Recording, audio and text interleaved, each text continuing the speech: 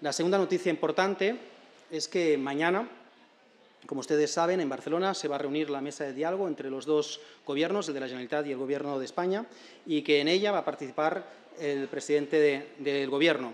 Nos parece que esa decisión es una decisión valiente, con sentido de Estado, que manda también un mensaje claro, que es que este Gobierno se toma en serio el diálogo y que tenemos, por tanto, una oportunidad.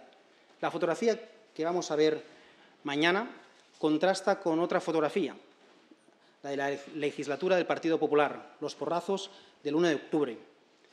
Hemos tenido hasta ahora, hasta este Gobierno, hasta que ha habido este Gobierno, un Gobierno que ha sido una pared. Y ahora tenemos una oportunidad.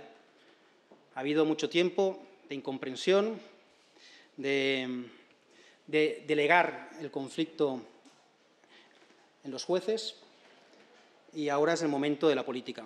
Por eso pensamos que no es, como se ha dicho por los portavoces de la derecha, ninguna humillación a España, no es la mesa de la indignidad, sino que es una victoria de la política. Es nuestra obligación sentarnos a dialogar para encontrar una solución y un pacto a este conflicto. Miente quien diga que hay una alternativa al diálogo y al pacto.